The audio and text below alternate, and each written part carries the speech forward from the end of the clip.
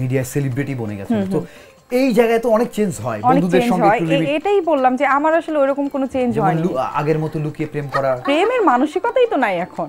আচ্ছা। প্রেম কীভাবে হবে? আচ্ছা। প্রেমের বয়সই তো পাড়ি দিয়ে আসছে। তো আমার বন্ধু আছে জহির। সাত বছর হলো একটা মেয়ের সঙ্গে সম্পর্ক ছিল এবং তারপরে তারা বিয়ে করেছে। তো আমি তাকে বললাম যে নতুন জীবন কেমন কাটছে? বলল সাত বছরের প্রেম নতুন তো কিছু পেলাম না।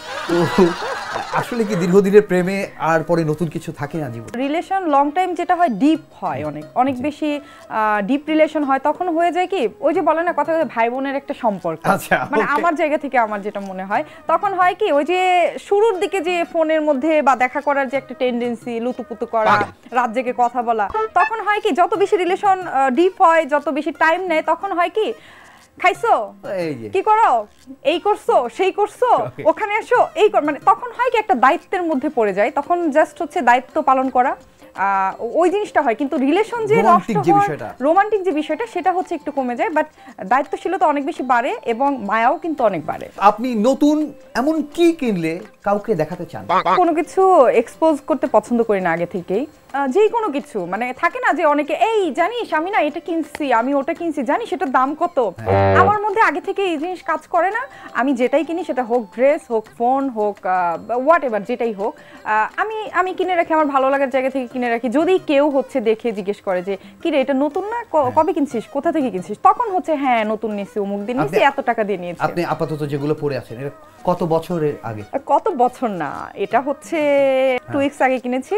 আচ্ছা এক্ষেত্রে আমি বলে রাখি ম্যাক্সিমাম ভাবিরা যেটা করে এই তো গত পরশু দিন নিলাম আলমারিতে তুলে যত বছরই থাক তো এটা আপনিও তাই বলবেন? না না না না এটা টু উইকস আগে আর এটা হচ্ছে ওয়ান ইয়ার আগে বাট পড়া হয়নি। ইউজ কম হয় বাট আমরা দেখা যায় শপিং এ গেলেই কিনে রাখি। কেন কিনি? কখন কোন ক্যারেক্টারের জন্য কোনটা দরকার হয়ে যায়?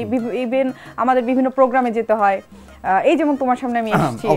ঠিক না? তো এই জন্য আগে থেকে প্রিপারেশন রাখতে হয়। ওকে নিউ লুক মিডিয়াতে। এটা মানে কতটা জরুরি? আহ, সবসময় জরুরি কারণ হচ্ছে একটা স্টেপ বাই স্টেপ এক একটা প্রজন্ম চলে আসে তাই না? প্রত্যেকটা ইয়ারের কিন্তু চেঞ্জিং আছে। দেখা গেছে যে আমরা পাঁচ বছর আগে যে লাইফস্টাইল করেছি এখন কিন্তু ওই ওইটা নেই। এবং এখন যেটা আমরা করছি পাঁচ বছর পর কি হবে সেটাও কিন্তু আমরা জানি না।